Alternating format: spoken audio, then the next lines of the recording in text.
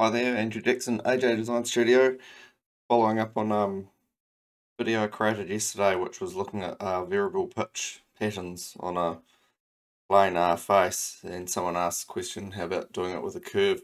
So um, I had a quick look today, so I had a think, been thinking about how I might achieve this. Um, had a quick look at um, one possible solution. Um, so I've just modelled up um, a basic model just sort of to prove out the theory. So I'm just going to roll back to the beginning of this model uh, and just sort of briefly cover how I've achieved this outcome.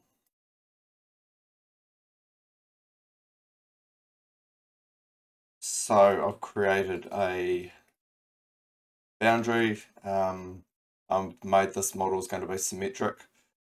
Um, same length along the X and the Z. I've created a plane through one of the points on the boundary. Then I've created sketch um, style spline, which is basically um, what the facets are going to fit through. So in my other video, I um, projected, uh, I, I, I divided a spline equally with segments and then projected those lines down onto another line and that created the variable pitch for my pattern and you could adjust the spline um, with doing this and putting the segments onto a curve. I guess the challenge uh, is that you have to sample the curve length uh, to then divide up a straight line with an equal length to your curve. So to do that, what I've what I've had to do is I've created a driven dimension length of the spline. So if the spline changes, that length updates. And then I have uh, that length dimension feeds into a global variable side spline. So the next sketch after the side spline is my actual pitch control. So I've just put this over here on the side just so it's sort of out of the way. Um, so I'll go in there and edit this. So in here, so that dimension that I took off the spline, the length of the spline, the true length, um, drives the length of this line here. So you can see using the same technique as I was using yesterday, having a, a curve up here, um, equal, divided into an equal, um, equally with these points, project the lines down onto this line, that's how I get the variable pitch. So if you change the angle here, changes the pitch sort of thing. Um, I mean, you can get rid of these dimensions and just drag things around, but I've, I've just defined it this time. So because I've now I've got my lengths down here on this line, the line is the same length as the spline, I need to be able to um, take these values and then apply them to some facets that will be coincident to my side spline. So to do that, you might have seen in the equations there, I have created a global variable and just basically taken each of these segments, um, taken the dimension, and so that's available to uh, other sketches to use. Um, you might notice, go, well, why have I bothered taking both sides here because it's symmetric? Um, I just did that in case I decided to uh, get rid of the symmetry. Um, I'd still have the dimensions available. Okay. So next up was to create the facet sketch.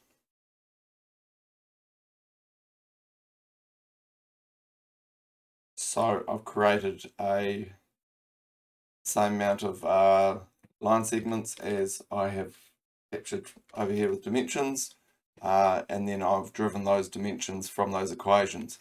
So it's, it's sucked the data out of here and placed it into here um, and I have not dimensioned the middle span there because um, otherwise the sketch would be over defined. Okay, and then to create um, that surface you saw before, made a surface extrude using those facets like that. Create an axis through the front and right hand plane and then just created a circular pattern. So these are all the same. that circular pattern, uh, it's a body pattern. And then I created a boundary surface. So with the boundary surface, it's as simple as um, using the selection manager. So if I delete um, one of those edges over here, it's all lining up anyway, but I'll just go through and show you a reselect, right click selection manager, and then you basically just go through and, and, and um, select all the facets, all the segments.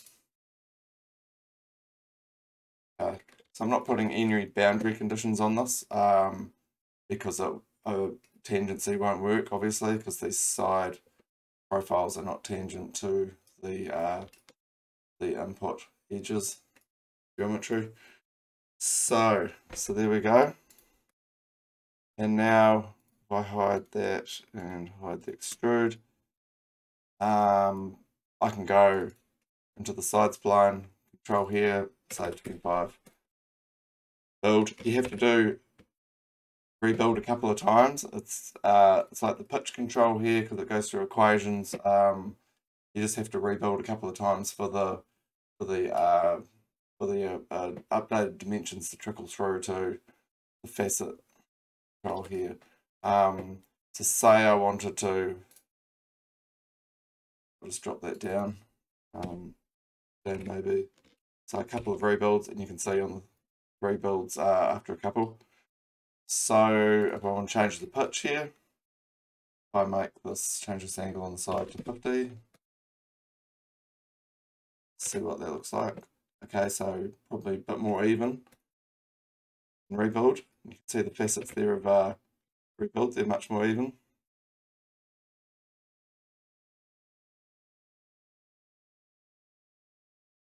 Uh, it's going to get tighter in the middle. There you can see the, um, the pattern's updated.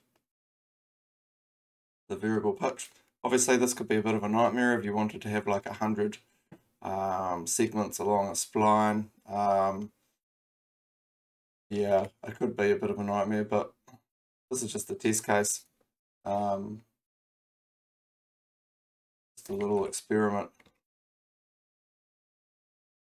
So because these dimensions along here are being um, captured as variables, there's no reason that this spline that I put the facets on, you could uh, create a 3D sketch and insert a, a, spline in 3D space and then put the facets along there. Um, so there's a lot of flexibility. Um, also using this technique here, using um, facets along a spline and then using them to the facets to make a um, boundary surface is a great way to uh, divide up a surface if you uh, if you want to find um, you know where create some lines as control geometry. You can use face curves of course but face curves um, harder to control if you wanted to have some variable pitch uh, on there. Yep, so I thought I'll try something else as well. Um, you know, it doesn't have to be facets like this. Um, so I created another file here and basically replace the facets with um, arcs and then just dimension those off. So those are all concave. The texture, and again, it updates um,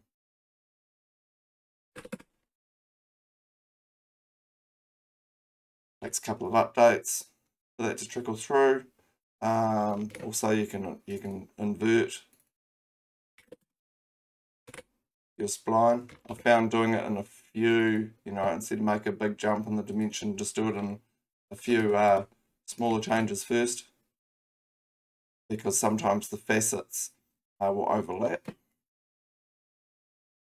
Okay, now I'm going to go negative five here, so we're going to invert the invert the pattern.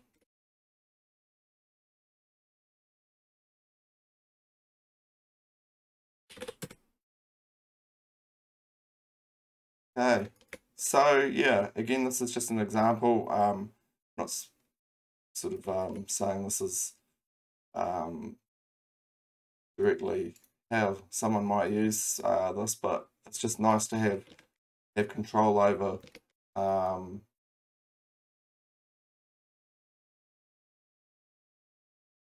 pictures of things, especially in uh, three-dimensional space like that. Okay, um, hope that was hope that's useful for someone out there. Um, Andrew Jackson, AJ Design Studio. I'll be back again with um some more SolidWorks stuff in the future. Okay, bye.